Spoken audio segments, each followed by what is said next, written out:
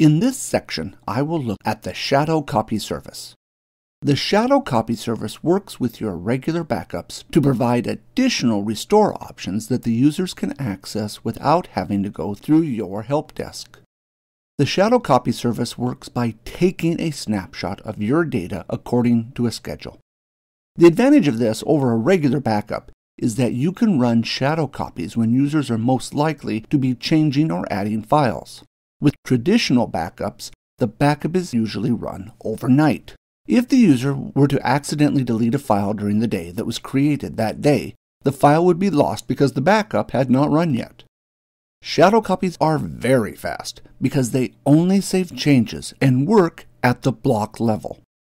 When a file is first saved or modified, the Shadow Copy service needs to take a complete copy of the file the file is copied to the shadow copy area. This can be an area on the same hard drive as the files, or a completely separate hard drive dedicated to shadow copies.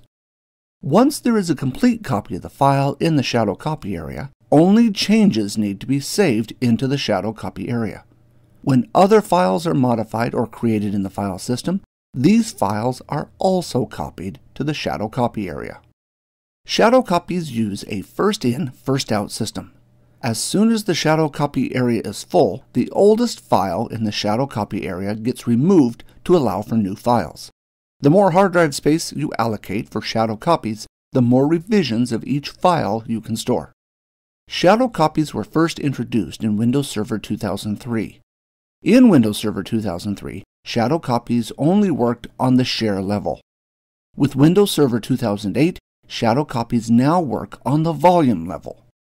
There are a number of different ways that you can get into the settings to configure shadow copies. One method is to open Windows Explorer and then go to the hard drive you want to configure shadow copies for, right-clicking on it, and then selecting the option Configure Shadow Copies. You can also access shadow copies by selecting Properties for the hard drive. If you go into the Properties for the hard drive, all you need to do is select the tab Shadow Copies to access the settings for shadow copies. From shadow copy configuration, you could select the option Enable to enable shadow copies. However, it is best that you do not enable shadow copies until you have configured it by pressing the button Settings. This is because once you enable shadow copies, there are some settings you cannot change unless you disable shadow copies and in the process delete any existing shadow copies. If I now go into the settings section, first I can set which hard drive the shadow copies will be stored on. For best performance, you should always store the shadow copies on their own hard disk.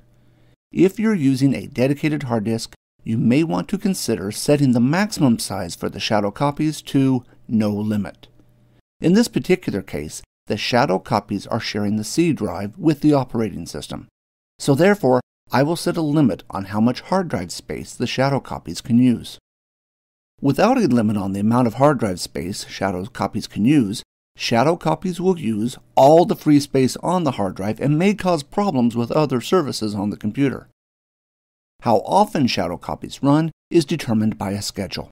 To access the schedule, press the Schedule button, and you'll see by default two shadow copies will be run Monday through Friday twice a day. If I want to add additional schedules, I can do this by pressing the New button. Once the schedule has been added, I can adjust the start time below. How often you run the Shadow Copy service on your server really depends on how much data is changing on your server.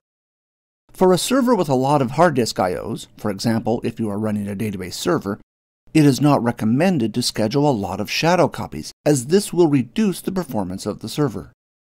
If, however, you are running a file server on which there are a lot of files which do not change often, and files are being added quite regularly, I would recommend running more shadow copies. Remember that if a user creates and deletes the file and the shadow copy service has not run, the file is lost forever. If I now accept these two dialogues and go back to the properties for shadow copies, you will notice that the Enable button is grayed out. Remember this important fact when configuring settings for shadow copies. When you change the settings for shadow copies, shadow copies are automatically enabled. If I press the button Create Now, the Shadow Copy service will create a snapshot for use with the Shadow Copy service. To demonstrate Shadow Copies better, I will navigate to the Documents folder. You will see that I have created two files.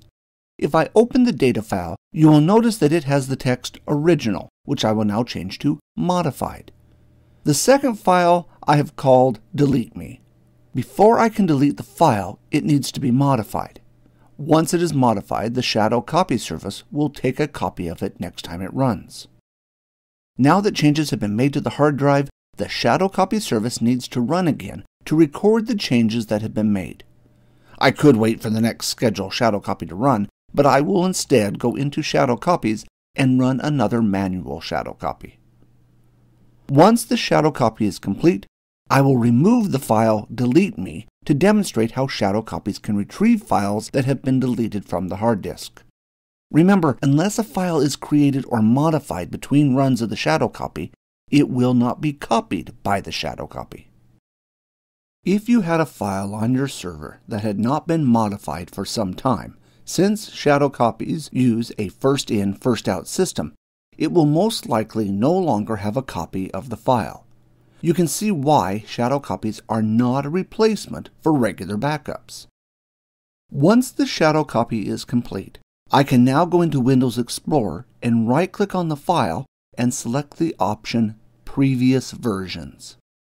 If I select the button down at the bottom, Open, you can see what is contained in the file. You can see here that it is the original version of the file. However, this is a read-only copy. If I do not wish to overwrite the original file, I can select the option Copy.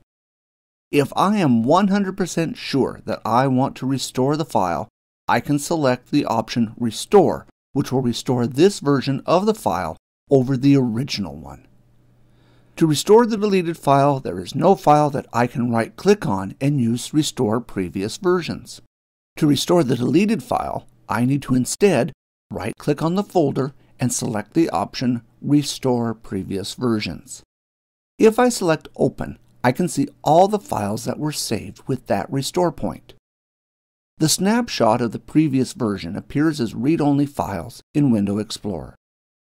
As you can see, I can move the previous versions window down to show the other Explorer window and then drag and drop the deleted file from one window to the other. It's important to note here that if I had deleted the file by sending it to the recycle bin, it would not appear in previous versions, but I could, however, restore the file from the recycle bin. This concludes shadow copies. As you can see, shadow copies are easy to set up and use. Since shadow copies are block-based, they are very fast, but are subject to disk tools like defragmentation. Also, shadow copies are not a good choice for hard drives with high I.O., for example, database servers. Shadow copies are a better choice for file servers. The more space you allocate for shadow copies means having more revisions you can store on your server. But remember, shadow copies are not a replacement for regular backups. Set up correctly, Shadow copies can help take some of the burden off administrators by allowing end users to restore their own files.